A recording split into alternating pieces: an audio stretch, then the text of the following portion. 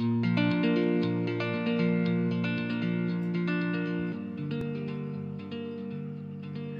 friends welcome to our channel cook with Manju ఇవాళ మన కిచెన్లో పెసరపప్పు కాంబినేషన్ తోటి క్యాబేజీ ఫ్రై చేస్తున్నానండి. క్యాబేజీ ఇష్టపడని వాళ్ళు చాలా మట్టుకుంటారు కానీ ఒకసారి ఇలా క్యాబేజీని పెసరపప్పుతో ట్రై చేయండి. చపాతీలోకి చాలా టేస్టీగా ఉంటుంది.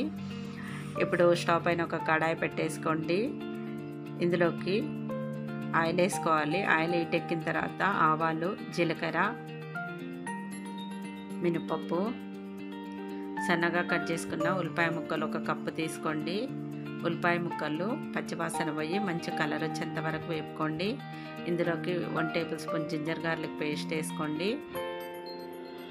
జింజర్ గార్లిక్ పేస్ట్ కూడా పచ్చివాసన పోయేంత వరకు మంచిగా వేపుకోండి. అప్పటిదప్పుడు ఫ్రెష్గా నూరేసుకుంటే బాగుంటుందండి. ఇందులోకి వన్ టేబుల్ స్పూన్ పసుపు వేసుకోండి.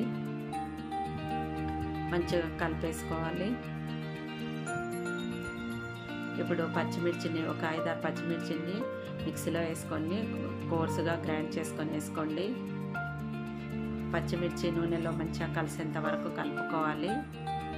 ఇలా కలుపుకున్న తర్వాత ఇందులోకి సన్నగా కట్ చేసుకున్న క్యాబేజ్ వేసుకోండి.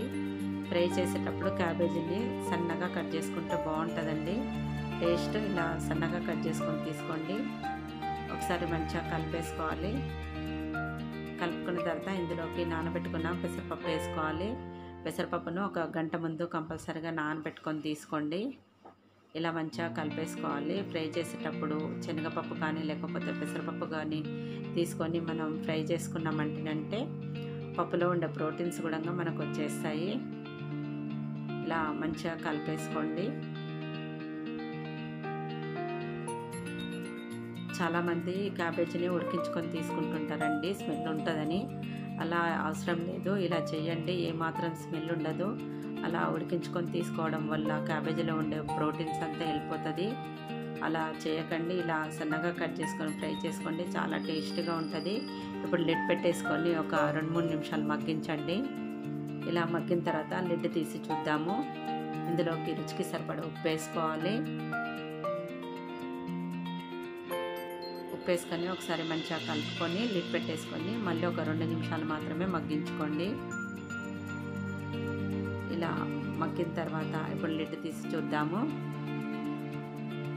ఇందులోకి కొత్తిమీర కరివేపాకు ధనియాల పొడి వేసుకొని మంచిగా కలుపుకోవాలి. ఇలా మంచిగా కలుపుకున్న తర్వాత ఇందులోకి ఒక two and half tablespoon దాకా కొబ్బరి పొడి వేసుకోండి. కొబ్బరి పొడి వేసుకోవడం వల్ల చాలా టేస్ట్గా ఉంటుంది. క్యాబేజీ ఫ్రై కంపల్సరిగా వేసుకోండి. ఇప్పుడు ఒకసారి మంచిగా కలిపేసుకోవాలి. అంతేనండి క్యాబేజీ ఫ్రై రెడీ అయిపోయింది. చపాతీలోకి చాలా అంటే చాలా టేస్టీగా ఉంటుంది.